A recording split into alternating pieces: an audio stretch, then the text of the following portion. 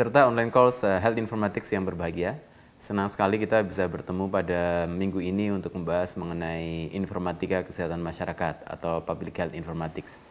Topik ini saya kira cukup menantang, cukup menarik karena di Indonesia ilmu kesehatan masyarakat juga saat ini mengalami banyak uh, perubahan, uh, mengalami banyak tantangan dan ilmu informatika kesehatan masyarakat sangat berpeluang dan berpotensi sekali untuk ke memperbaiki maupun meningkatkan um, kinerja uh, ilmu kesehatan masyarakat. Sebenarnya apa yang disebut sebagai informatika kesehatan masyarakat? Ada beberapa uh, buku yang bisa dijadikan acuan. Nanti dalam minggu ini juga nanti kita akan menggunakan buku tersebut yang menyebutkan bahwa informatika kesehatan masyarakat adalah uh, suatu penerapan uh, atau aplikasi uh, mengenai ilmu informasi, kemudian ilmu komputer dan teknologi informasi untuk ke meningkatkan uh, baik ke praktek atau kinerja kesehatan masyarakat, kemudian juga aspek pembelajarannya maupun sampai dengan research.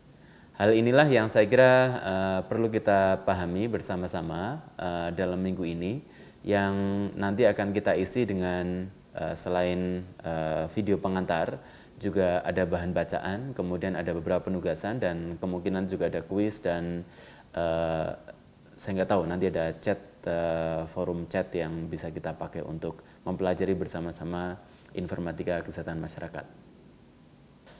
Ya, jadi ada tiga cabang ilmu yang nanti perlu kita pahami bersama-sama yang membentuk informatika kesehatan masyarakat. Yang pertama adalah ilmu informasi.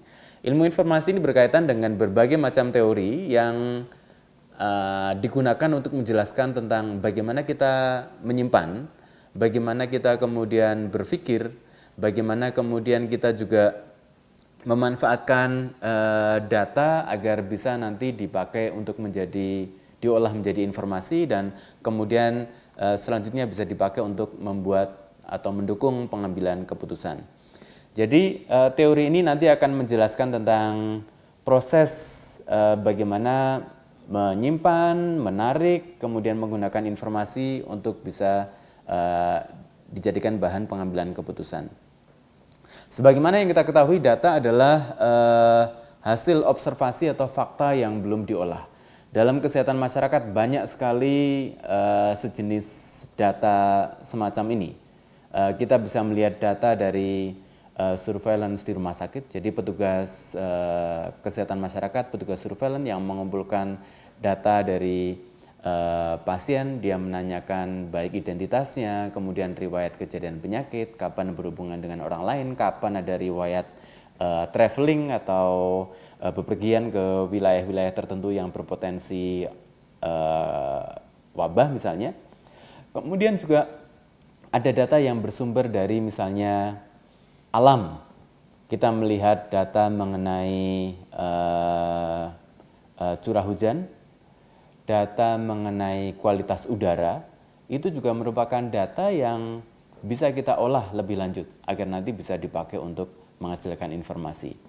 Nah, ini contoh-contoh data yang nanti memang perlu diolah, perlu dianalisis. Nah, ilmu informasi ini yang saya kira perlu diperlukan dalam menerapkan uh, informatika kesehatan masyarakat. Sehingga kalau misalnya kita bisa memanfaatkan ilmu informasi dengan baik, nanti kita bisa mengolah data yang bisa kita temukan dalam berbagai sumber yang belum terolah, belum ada maknanya, nanti bisa diolah kemudian bisa diinterpretasikan dengan baik sehingga nanti bisa dipakai uh, untuk menjelaskan berbagai macam fenomena. Untuk menjelaskan apakah ini sudah outbreak atau belum.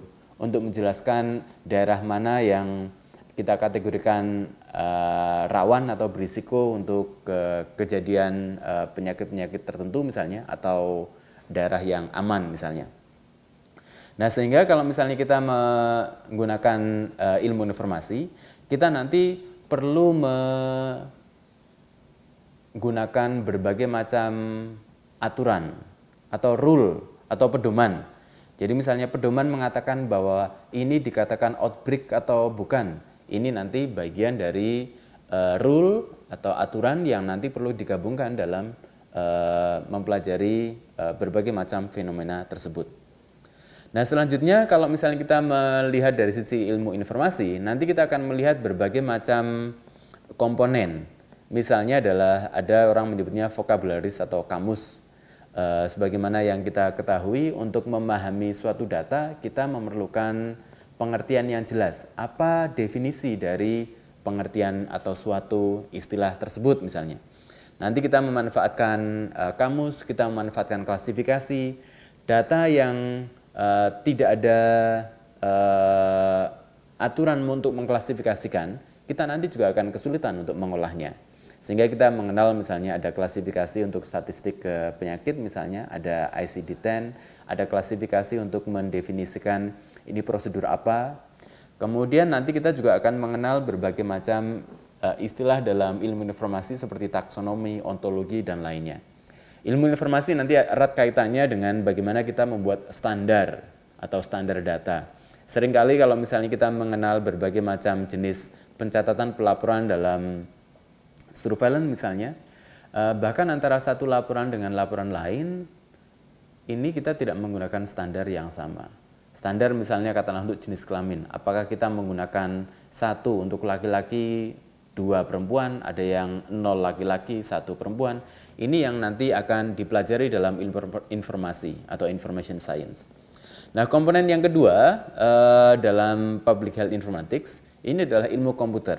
Ilmu komputer ini berkaitan dengan bagaimana kita menggunakan algoritma, bagaimana kita menggunakan uh, uh, konsep fundamental dalam ilmu komputer untuk ke, mengolah uh, data agar data tersebut bisa menjadi informasi. Uh, ilmu komputer pada dasarnya berisi suatu algoritma yang siap dieksekusi, yang siap digunakan. Nah, kemudian dalam ilmu komputer nanti akan di, uh, eh, dibantu dengan uh, yang uh, apa alat bantu untuk menerjemahkan apa yang dipahami oleh komputer, apa yang dilakukan oleh komputer dan apa yang dipahami oleh manusia. Jadi ada interface atau antarmuka antara uh, manusia dan komputer. Dalam ilmu komputer juga nanti kita akan pelajari selain algoritma juga model data. Uh, hal ini nanti akan berkaitan dengan uh, ilmu database.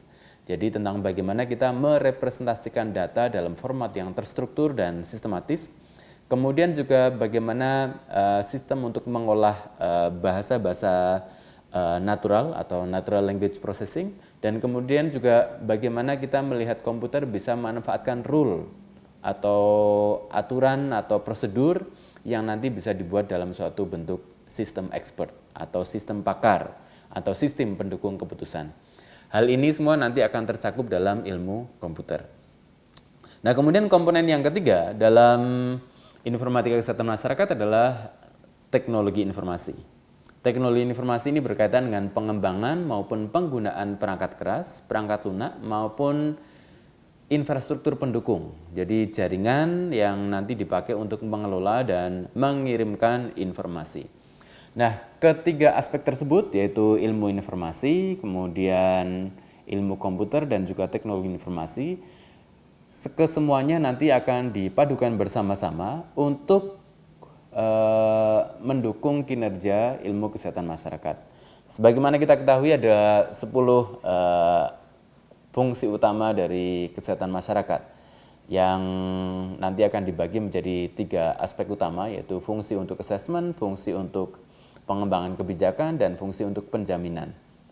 Dalam assessment kita mengenal ada uh, kegiatan untuk memonitor kesehatan, memantau kesehatan atau uh, monitoring health, kemudian mendiagnosis dan menginvestigasi masalah kesehatan, dan kemudian kalau misalnya kita lihat yang pada komponen uh, pengembangan kebijakan, di sana ada fungsi untuk uh, menginformasikan, mendidik dan memberdayakan masyarakat, memobilisasi dan menjalin kemitraan dengan masyarakat, kemudian mengembangkan kebijakan. Kemudian fungsi penjaminan termasuk misalnya bagaimana kita bisa menjamin hukum, kemudian kesehatan masyarakat juga e, bertanggung jawab untuk menghubungkan antara uh, masyarakat dengan provider kesehatan. menjamin tenaga kesehatan yang kompeten maupun mengevaluasi. Dan dari kesembilan aspek tersebut, salah satu komponen yang pentingnya adalah aspek research. Nah, hal inilah yang nanti akan di uh, support dengan adanya informatika kesehatan masyarakat yang nanti akan bisa uh, mendukung dalam berbagai macam aspek tersebut.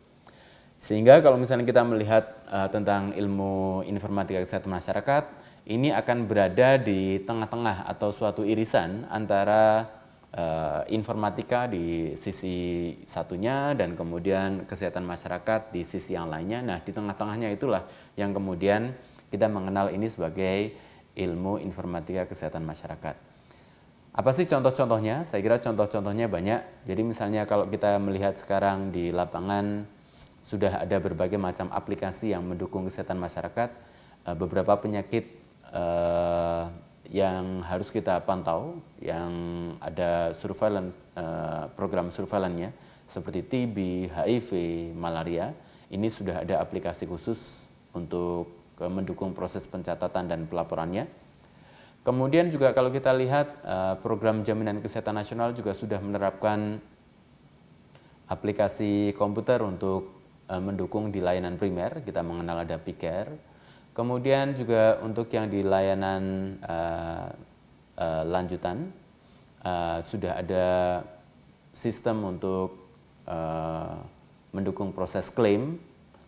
Selain itu juga kalau misalnya kita lihat uh, ilmu uh, informatika kesehatan masyarakat juga dipakai dalam berbagai macam kegiatan yang uh, termasuk misalnya kalau kita lihat yang ada dalam fungsi surveillance misalnya Eh, pemerintah juga sudah menerapkan e-wars, uh, early warning uh, outbreak recognition system misalnya, yang ini kemudian diterjemahkan dalam suatu aplikasi berbasis SMS untuk melaporkan beberapa penyakit atau kejadian yang di, perlu diwaspadai, yang harus disediakan sistem alertnya.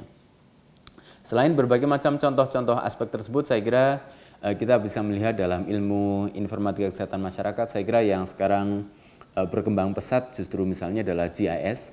Kalau kita tahu di eh, epidemiologi kita mengenal mendeskripsikan penyakit dari karakteristik orang, tempat dan waktu.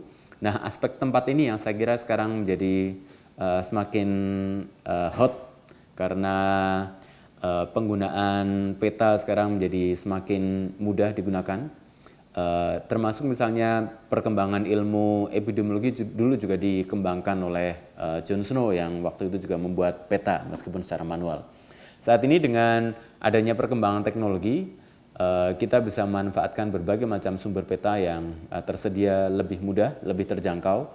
Bahkan sekarang dengan adanya teknologi seperti misalnya drone misalnya, ini juga sudah dipakai untuk membuat uh, pemotretan yang uh, lebih mudah, pemotretan lahan uh, di beberapa riset misalnya dipakai untuk menilai misalnya apakah uh, suatu lahan tersebut sudah tercemar nuklir atau limbah dan lain-lain.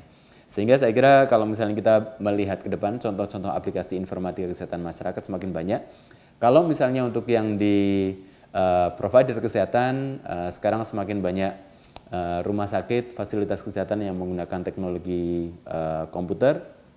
Selain itu untuk aspek yang berkaitan dengan teman-teman yang di dinas kesehatan misalnya atau mereka yang mengolah data, sekarang berbagai macam perangkat lunak software juga sekarang tersedia untuk mengolah data, menggabungkan data dari berbagai macam sumber.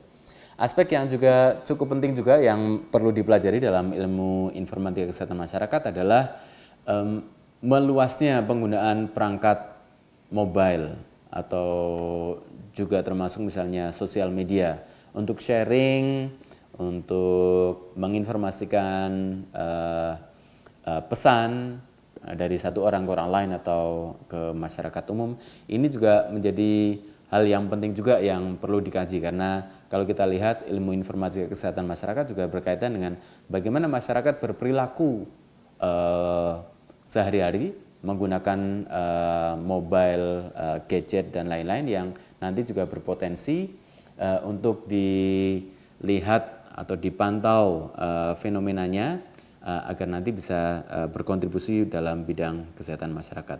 Demikian video pengantar informatika kesehatan masyarakat pada online course Health Informatics. Selain video ini juga nanti akan ada video interaktif dan kita nanti masih bisa berinteraksi melalui penugasan. Selamat mengikuti online course Health Informatics.